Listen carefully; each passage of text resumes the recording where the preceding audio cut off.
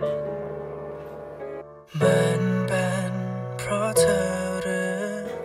มันเป็นเพราะเรา คงยังไม่เข้าใจความรู้สึกนี้แต่ที่เข้าใจ คือความหวั่นไหวต้องไม่มี